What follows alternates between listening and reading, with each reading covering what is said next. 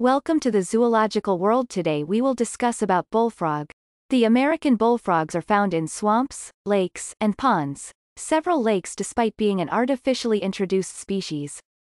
In general, the average bullfrog will jump a stretch of about 3 feet. However, they can reach distances of up to 6 feet with little effort. A group of bullfrogs is known as an army. Though bullfrogs inhabit most of the United States, they don't ordinarily live in Minnesota, Florida, Nebraska, Colorado, and South Dakota.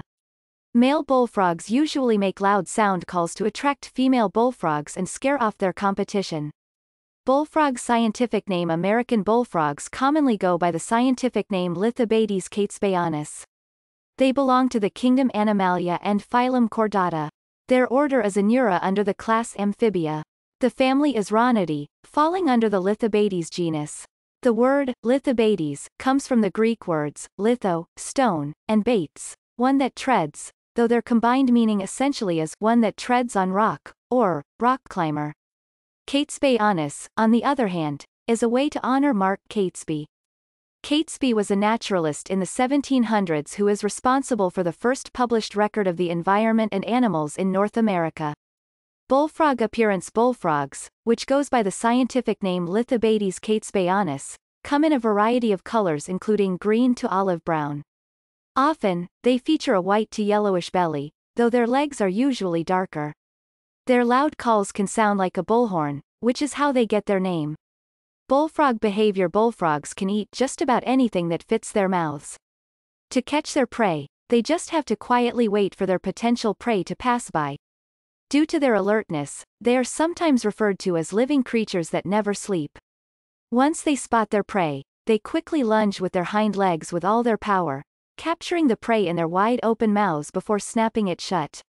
Male bullfrogs are known to be very territorial and are often found guarding their land. They'll even mark their territory with their scent to prevent other animals from taking it over.